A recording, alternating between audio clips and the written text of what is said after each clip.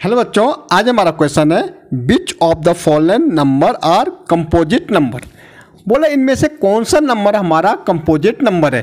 तो composite number हमारा होता क्या है? पहले हम सबसे पहले हम देखेंगे कंपोजिट नंबर अगर हम कंपोजिट नंबर लें कंपोजिट नंबर तो हमारा कंपोजिट नंबर होता the number the number which have more than two factor क्या कह रहा? है द नंबर बिच है मोर देन टू फैक्टर जिसके दो से ज़्यादा फैक्टर होंगे मोर देन टू फैक्टर वो हमारा होगा कंपोजिट नंबर वो हमारा क्या होगा? कंपोजिट नंबर जैसे हम बात करें फोर अब फोर किस किस नंबर से डिवाइड होगा?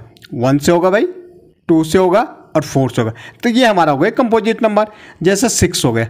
सिक्स किस से वन से होगा टू से होगा थ्री से होगा और सिक्स से दो से ज़्यादा one two three four factor है मतलब दो से ज़्यादा फैक्टर है तो ये हमारा कंपोजिट नंबर हो गया।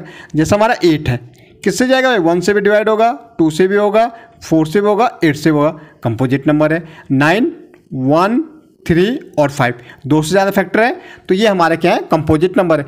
वो नंबर जिसके दो से ज़्यादा फैक्टर या दो से ज़्यादा नंबरों से वो कंप्लीट डिवाइड हो जाए, उसको हम कहते हैं कंपोजिट नंबर अब देखो भाई वन के तो भाई, एक ही फैक्टर होता।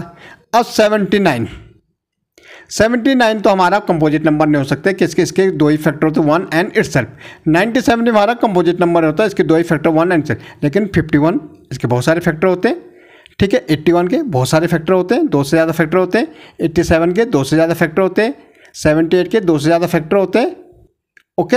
और 93 के दो से ज़्यादा फैक्टर होते हैं। तो ये हमारे क्या है? कंपोजिट नंबर कंपोजिट नंबर जो नंबर दो से ज़्यादा नंबर से क्या कंप्लीट डिवाइड हो जाए, उसको हम कहते हैं कंपोजिट नंबर जैसे हम टेन की बात करेंगे एक और।